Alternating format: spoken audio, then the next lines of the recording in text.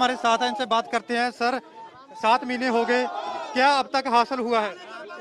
देखिए सात महीने में हमें तो हासिल कुछ हुआ नहीं, नहीं हुआ लेकिन बीजेपी की जो जड़ें हैं वो खुद गई है। आज का प्रोग्राम क्या है? कहाँ से आप जा रहे हैं और कहाँ तक जाएँगे? आज का हमारा प्रोग्राम यहाँ से हम अभी नाटा साहब गुरुद्वारे पहुँच गए हैं। यहाँ से इकट्ठे होकर चलेंगे। अब पिंकी तो सेट बॉय थोड़ा। यहाँ से इकट्ठे होकर चलेंगे और हाउसिंग बोर्ड चौक है वहाँ तक हम पहुँचेंगे।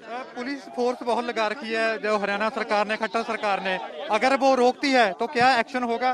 देखिए अगर वो रास्ते में रोकेंगे हाउसिंग बोर्ड से पहले तो तो हम किसी हालत रुकेंगे नहीं। और हाउसिंग बोर्ड से आगे जाने का हमारा कोई प्लान नहीं। अगर वो धक्के से रोकती है फिर क्या बैरिकेड तोड़े जाएँगे? हाँ अगर हाउसिंग बोर्ड तक नहीं जाने देंगे फिर तोड़ देंगे। और उसके आगे क्या होगा क्या क्या किसान लीडर ही जाएँगे विज्ञापन देने के लिए जो राज्यपाल को देना है?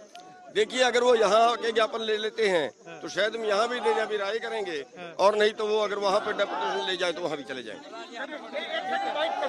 और ये थे किसान लीडर गुरनाम चिड़ूनी जो जहाँ से नाडा साहब गुरुद्वारा से जहाँ से जो काफिला है किसानों का रवाना होगा और आगे बढ़ेगा।